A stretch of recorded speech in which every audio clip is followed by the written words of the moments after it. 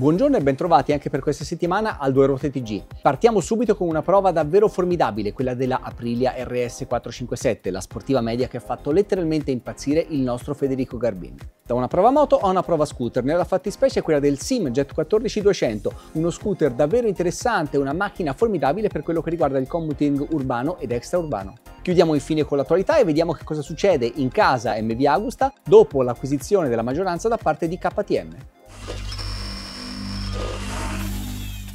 Quanto tempo ci vuole per conoscersi e quanto tempo ci vuole per innamorarsi? Beh, conta sempre anche l'altro o l'altra, le sfaccettature della personalità, il carattere, il feeling che si instaura dopo i primi metri o minuti, ore o giorni. In questo caso con l'Aprilia RS 457 sono bastati 4 turni ed è nato qualcosa che può durare a lungo, ma non lo dico solo io lo pensano in molti di quelli che l'hanno provata oggi, dei colleghi e lo si pensa subito quando si entra in sintonia con una moto che è innanzitutto facilissima.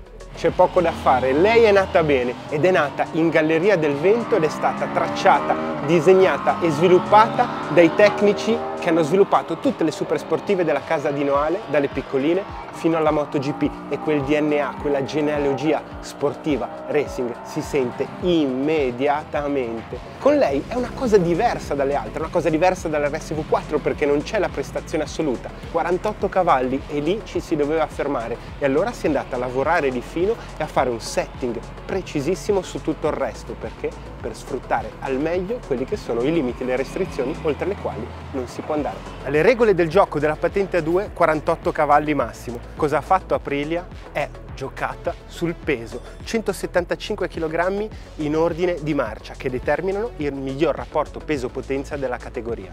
0,2 kW per chilogrammo, la somma fa 47,6 cavalli, 35 kW. L'Aprilia RS 457 è la moto che mancava nella gamma sportiva di Noale e va a colmare un importantissimo gap, quello tra la RS 125 e la RS 660. Allora guardiamo un po' velocemente quali sono gli ingredienti. Ciclistica sana, come abbiamo detto, telaio perimetrale in alluminio, forcellone in acciaio, molto leggero, buon regolabile nel precarico, così come la forcella a steli rovesciati, singolo disco anteriore, pneumatici Eurogrip Protor Q, personalizzati Aprilia, costruiti su specifiche proprio Aprilia, e poi una dinamica di guida e un'ergonomia fatta per divertirsi davvero. La linea è riconoscibilissima, gli stilemi ci sono tutti a partire dal faro anteriore, ovviamente full LED con eh, frecce integrate, fino al serbatoio molto gobbo qua davanti che va a scaricarsi qua dietro ed è molto stretto qua e codino ovviamente snello e fuggente. Ci si può mai divertire con queste potenze? Beh, è proprio lei a suggerirci la risposta. Oggi l'abbiamo portata all'autodromo di Modena per metterla un po' alla frusta tra i cordoli e abbiamo scoperto che sì, ci si può divertire anche quando la potenza in gioco è abbastanza poca. Ma appunto qui ritorna quello che è il discorso iniziale, pochi chilogrammi. Beh, allora partiamo e iniziamo a guidarla. Quello che viene subito fuori è il carattere del propulsore.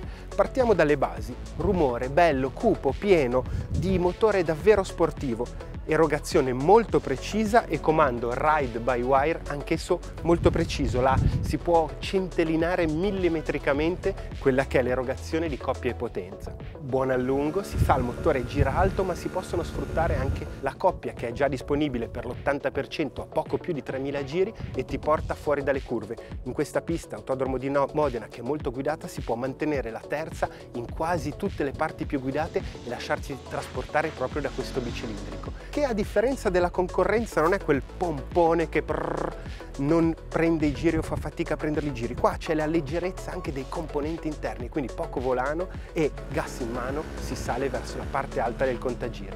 Elettronica ricca e si governa tutto da quelli che sono i blocchetti elettrici, multifunzione abbastanza precisi, fatti per essere comandati con facilità proprio anche durante la guida. Ci sono tre mappature, Eco, Rain e Sport, ci sono tre livelli del controllo di trazione e c'è un ABS che è disattivabile al posteriore per quando si guida in pista. Il marchio qua sul serbatoio Aprilia Racing racconta già tutta la storia, si vede che è una moto che è stata sviluppata, costruita da appassionati, da gente che le ruote sul cordolo le mette davvero. Ed è una cosa che viene immediatamente fuori. Quando la provi e riscopri quel DNA cui la casa di Noale ci ha abituato ormai da tantissimi anni. E tutti i titoli mondiali che ha portato a casa nel corso della sua storia, beh, non sono frutto del caso. E qui si sente che quel DNA è quello lì, non c'è altra scelta. Ergonomia molto centrata, in sella si può arretrare e avanzare senza nessun problema per andare a cercare un po' di carico in staccata, avanzando o in accelerazione, spostandosi molto spazio a bordo, pedane rialzate per dare luce a terra, ma non troppo vincolanti. Come vedete la triangolazione non è troppo stancante, serbatoio molto stretto, si può stringere tra le gambe, manubrio largo che dà un ottimo controllo sull'avantreno non ce n'è molto bisogno perché una delle grandi doti di questa moto è proprio l'enorme agilità data dal pneumatico da 110 anteriore ma soprattutto come vi dicevo da una ciclistica molto bilanciata e da un peso leggero che aiuta a dimenticare totalmente quelli che sono i soli 48 cavalli del bicilitrico. Frizione morbidissima, cambiata veloce con quick shifter bidirezionale offerto come optional. E a proposito di optional, si può pescare tra quelli che sono i tanti accessori offerti dalla casa per delineare ancora di più la sportività della moto. Noi oggi abbiamo provato delle 457 che avevano come accessori in post montaggio i pneumatici Pirelli su percorsa, la cover per il sellino del passeggero e chiaramente i tappi per coprire i buchi lasciati dall'assenza dei, dei specchietti retrovisori.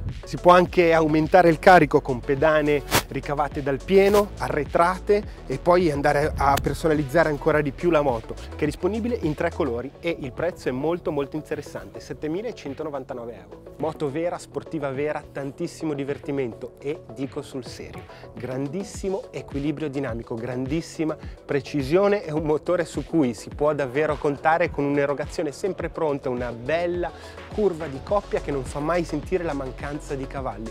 Il cambio è molto veloce, soprattutto su quelle eh, accessoriate con i quick shifter, è molto preciso, si possono usare tutte le marce senza avere quei cali eh, sintomatici di cubature così piccole. Ciclistica molto molto precisa.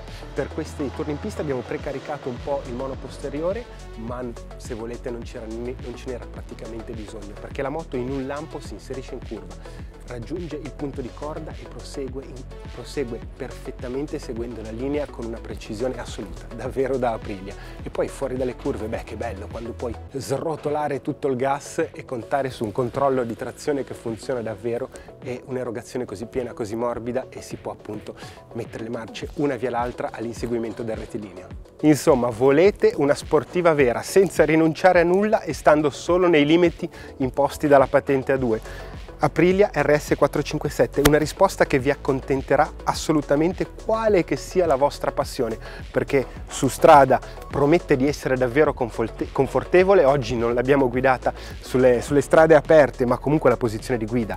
Lo dice molto chiaramente che si possono affrontare dei chilometri e poi tanto divertimento in pista, soprattutto su una pista così guidata, così corta, dove quelle che sono i doti o i limiti della ciclistica verrebbero immediatamente fuori e qui sono apparsi quasi solo esclusivamente le doti. Vogliamo cercare l'ultimo piccolo appunto? Beh, la frenata, l'anteriore singolo disco ha abbastanza mordente, ma se volete meriterebbe, se cercate la prestazione assoluta, una pompa un, un po' più aggressiva.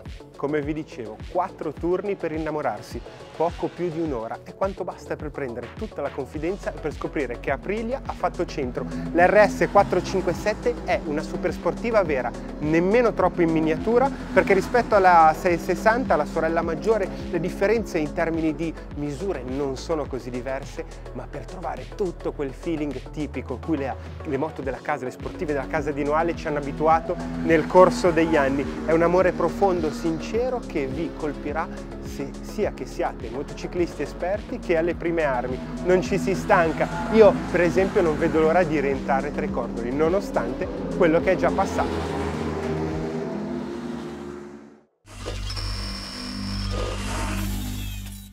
Che cosa si può chiedere a uno scooter che ci serve per il commuting urbano e extraurbano? Beh, sostanzialmente sono tre le caratteristiche. Deve andare il più forte possibile, compatibilmente con i limiti di legge, deve essere leggero e maneggevole, deve essere confortevole e sì, magari se ha la pedana piatta è anche meglio.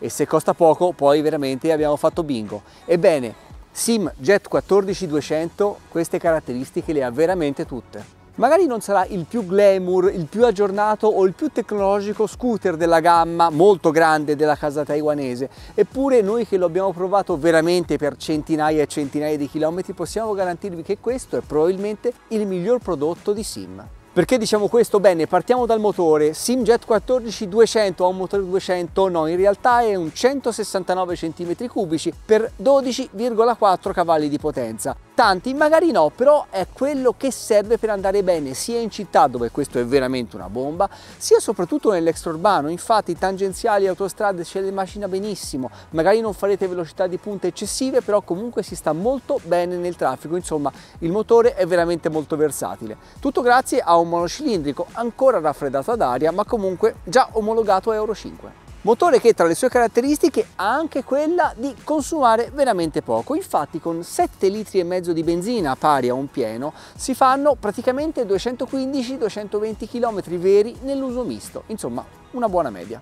Parliamo poi di maneggevolezza, sì perché questo Sim Jet 14200 ha dalla sua due caratteristiche, un peso assolutamente leggero, messo sulla bilancia sono appena 134 kg con il pieno, quindi veramente pochi, Inoltre è particolarmente maneggevole, merito di che cosa? Di queste due ruote, ruote con cerchio da 14 dal profilo veramente sottile. Per qualcuno potrebbe essere un handicap, no, vi diciamo, noi lo abbiamo provato veramente a lungo e possiamo garantire che con questa conformazione, con questa ciclistica, le pieghe vengono bene, la maneggevolezza è elevatissima e tutto non va a discapito della sicurezza. Inoltre possiamo garantire che questo, paragonato magari a un ruota alta per il commuting, quindi un ruota alta da 16, vince a mani basse. Ma ricordiamoci che al di là delle prestazioni parliamo sempre di uno scooter e lo scooter è in primo luogo comodità.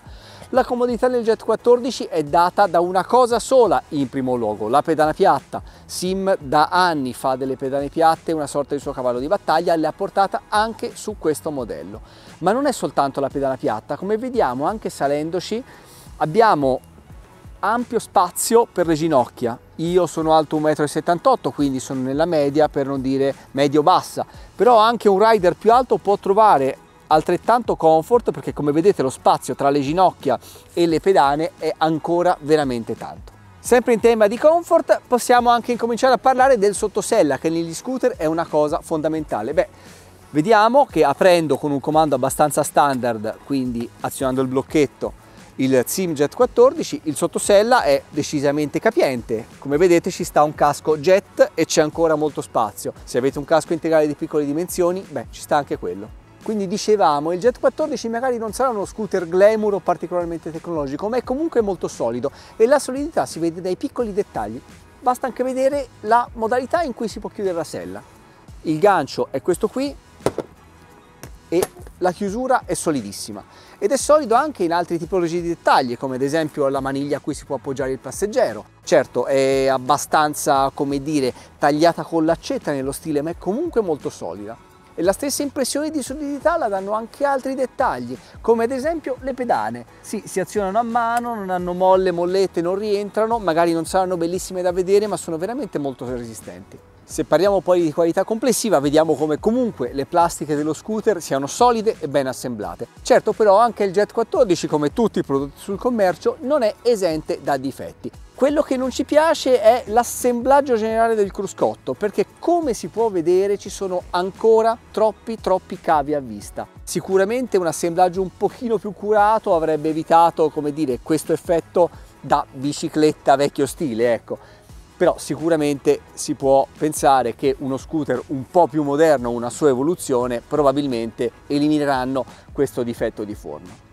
Per quanto riguarda il resto vediamo come le funzionalità complessive siano abbastanza standard. Abbiamo in questa zona del retroscudo un gancio dove poter appendere una borsa, mentre qui a sinistra abbiamo un vano con uno sportellino in plastica che però non è chiudibile con una chiave in cui si possono riporre degli oggetti e addirittura c'è anche la presa USB.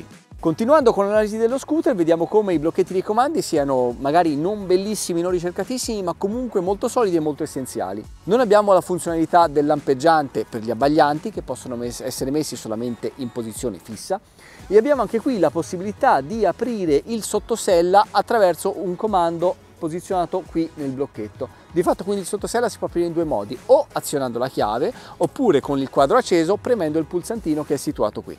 Alla prova dei fatti, lo abbiamo già detto prima ma vale la pena ribadirlo, il Simjet 14 è veramente un animale da città e anche da superstrada, autostrada. Merito di che cosa? Di un interasse contenuto 1350 mm che unito anche alla ciclistica e alla conformazione delle ruote lo rende veramente snello, piacevole, agile, veramente comodo in tutte le situazioni. Inoltre in un uso prolungato come quello che ne abbiamo fatto noi abbiamo dovuto anche affrontare molte frenate di emergenza.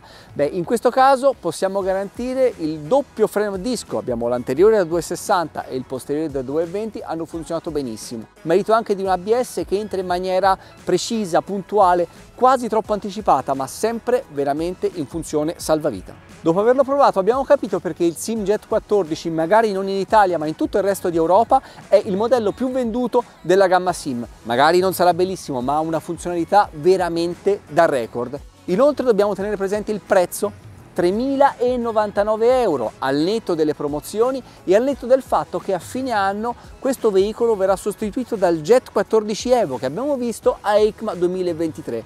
Quindi è il momento migliore per acquistare un veicolo del genere.